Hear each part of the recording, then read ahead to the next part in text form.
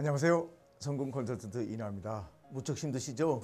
이제 힘을 내시고 좀 더 멋진 정상을 향해서 여러분이 가셔야 할 때가 왔습니다. 오늘은요. 그래서 예화로 한번 시작하겠습니다. 조금 길더라도 유심히 들어보시기 바랍니다. 이탈리아의 어느 마을에요. 친구 사이인 알마니와 파르로라는 사람이 살았습니다. 이들의 꿈은요. 어, 꿈에 그리던 직업을 이게 갖게 되는데 그 직업이라는 것은요 강에서 물을 떠다가 마을까지 가져다 주는 일입니다.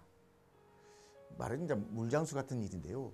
시간이 지나면서 알만은요 일이 너무 고되어 여기저기 뭐 걸리고 쑤시고 그랬습니다. 그래서 좀 더 나은 방법이 있을 거라는 고민을 하기 시작합니다.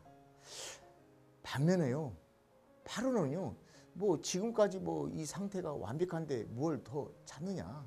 내가 버는 돈 이 정도면 충분히 먹고 살 수 있으니까 그러면서 친구를 실책하기 시작합니다.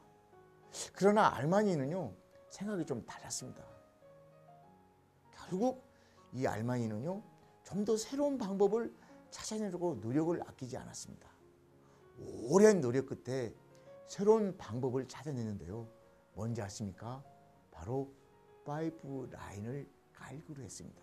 그러니까 강에서 마을까지 힘은 들지는 모르겠지만 파이프를 깔아보자. 즉 송수관을 깔아보자 했습니다.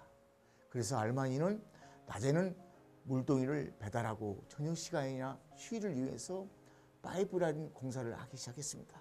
물론 오래되는 작업이죠. 알마니는 뭔가 맥을 잡고 있는 사람이 있었죠.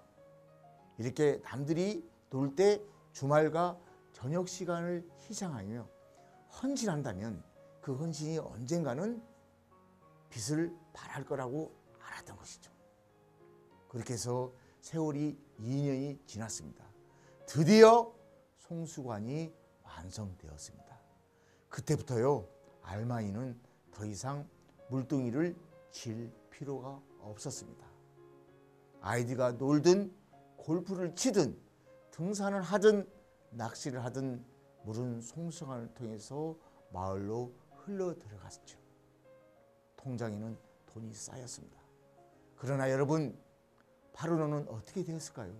열심히 그때도 물동이를 쥐면서 살아야 했습니다. 아주 의미 있는 예화입니다. 어느 종갓집에 머슴이 여러 명이 있었습니다.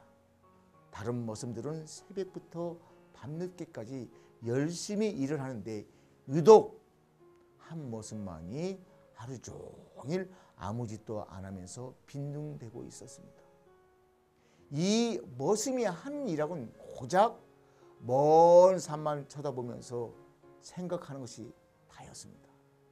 그런데요, 종갓집 주인은 이런 머슴을 야단치기는 고사하고 극진히 모시는 것이었습니다. 주인이 머슴을 모신다. 상황이 이렇다 보니 다른 머슴들은 불만이 커질 수밖에 없었죠. 그러던 어느 날 이 빈둥거리는 머슴이 주인한테 와서 이렇게 말을 하는 것이었습니다. 마님, 한 달 내로 장 안에 있는 남학신을 모두 사 모으세요. 라고 귀뜸을 해줬습니다.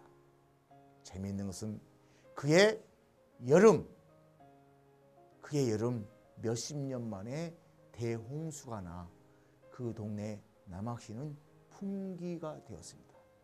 물론 그 주인은 큰 돈을 모을 수가 있었습니다. 자, 그러니까 그 빈둥대는 머슴은 일을 하지 않은 게 아니라 그러니까 하늘만 쳐다본 것이 아니라 구름의 방향, 바람의 방향 등을 보고 그 다음에 벌레의 울음과 개미의 움직임 등을 통해서 하나의 큰 흐름을 읽고 아 얼마 있지 않아 홍수가 다가올 것이라는 것을 예측했던 것입니다. 다시 말씀드립니다. 예측했던 것이죠. 한스 피터 마르틴과 헤럴드 슈만은 세계화의 덫이라는 미래사회 비평세에서 이런 말을 합니다.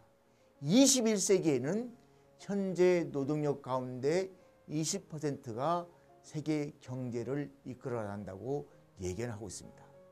다시 말씀드리면 높은 부가가치를 창출하는 20%의 지식을 제외한 나머지 80%는 좀 심하게 말씀드리면 놀 수밖에 없다는 것입니다.